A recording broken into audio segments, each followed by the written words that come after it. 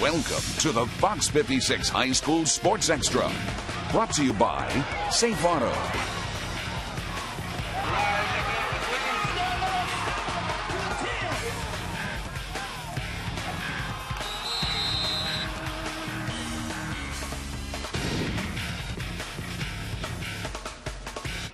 Welcome to the Fox 56 High School Sports Extra semifinals right. edition.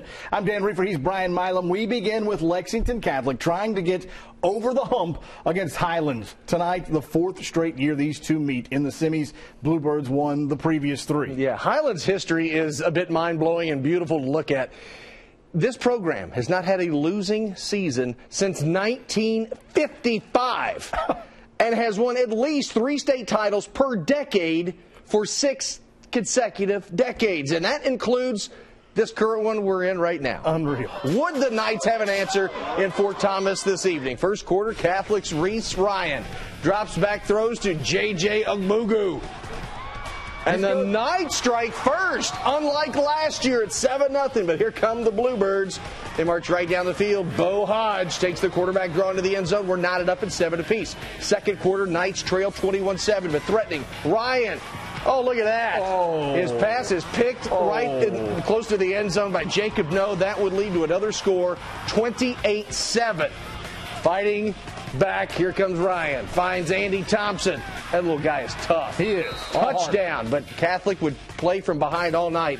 Highlands ends Lex Cath's season again, 47 26. Highlands will face the Owensboro Red Devils in the 4A championship. Good run by Lexington Catholic seniors, winners of four consecutive region titles. Look at Highlands' 29th state championship appearance, and that doesn't count their mythical titles from a long time ago. Let's go to Class 5A. Pulaski got to the championship game last season, came up short against Bowling Green, but the Purples are no longer playing as Graves County knocked them off 7 0 last week. Yeah, that's right. The teams Bowling Green beat to win the last two state championships. Pulaski County and Cooper meeting tonight in Somerset to decide which one will have another crack at a state title against someone other than Bowling Right. Green. A chilly one is Coach Hines trying to get his Maroons back to the state final. First quarter, no score. Jalen Conwell gets the carry for Pulaski. Looked like he's wrapped up, right? Oh no. He's got it on spin cycle for an 18 yard gain. And in the beginning of the second quarter, same drive, senior Caleb Cox untouched for 29 yards. Maroons get the offense started and take a 6-0 lead. Your eyes likes it, yeah, yeah. Two minutes later, still second quarter. Maroons have the ball at Cooper's 44. Riley Hall, Mason Helton down the middle, 44-yard touchdown.